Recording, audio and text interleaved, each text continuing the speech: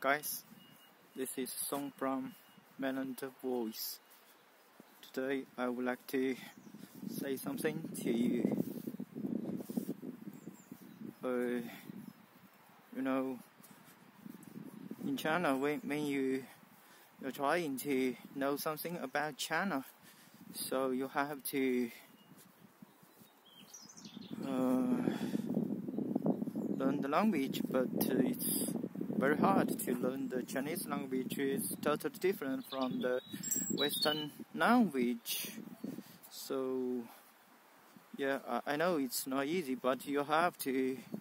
Maybe you have to travel to. You you have to have a look uh, uh, and go to China and to uh, experience China. Uh, you must heard the news, heard all the things about China, about the politics, about the party, about CCP, about the army, about all the things from the news. But uh, maybe you don't have a chance to go to China because uh, it's a far away country. When I fly to United Kingdom, it took me 12 hours to fly here if I transit uh, uh, one time I I transit here from Brussels so it took me more than 18 hours. It's a long journey and it's very hard. Sometimes it's expensive so it's not easy. And uh, also because of the visa problem because uh, it's not uh, you know uh, when the Chinese people they want to go to the Western the developed country, it's very hard for them because the visa problem. Uh, at the same time, when the Westerner want to go to China, they have to apply for visa. This is a mutual problem. They are not uh, mutual open to each other. Yeah, that is the problem, and uh, it will take you time, and uh, it will you you will have to prepare some materials, documents to apply for your visa.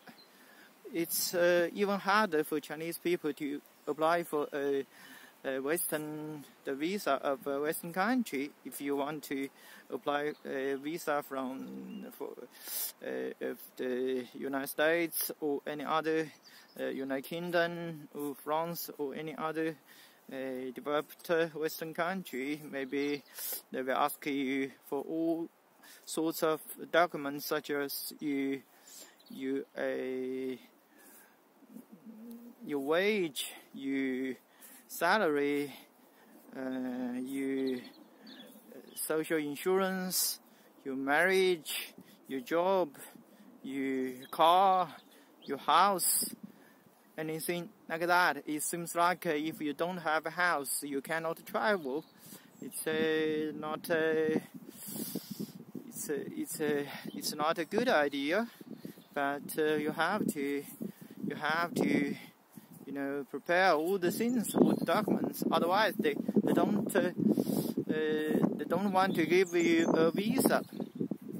So this is the same, but when you uh, are trying when you uh, are going to apply for a visa to China, the procedure is much easier because the Chinese government they actually they welcome Chinese people and the government they welcome the Western the white especially the white the English speaking or the European uh, citizens they welcome the uh, developed country, the people from the developed country. So you can apply for visa, yeah, and it will take you hours and hours to fly to China, and you can experience experience something about China.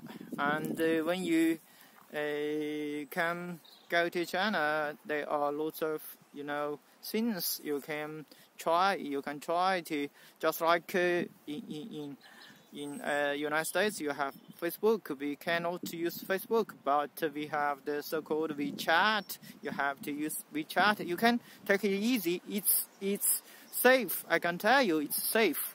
And we have the Ali Alipay, Taobao, Alibaba, Alipay, WeChat Pay.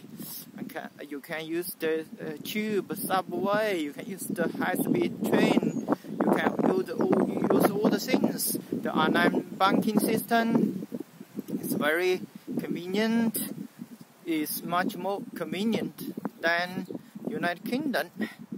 And you can learn all the lifestyles in China. It's very quick, it's faster, but you can maintain your own pace. Of course, you can uh, live very slowly. You can earn a lot of money because in China you can earn if you are from a developed country, if you can speak English, uh, French, uh, German language, you can earn a lot of money. Maybe in China, the ordinary Chinese citizen, the same uh, position, same occupation, same, same uh, profession, they can earn uh, maybe uh, 500 dollars, but you can earn one thousand or two thousand dollars per month, so you can earn two times, three times higher uh, wages for yourself than the equivalent Chinese teachers.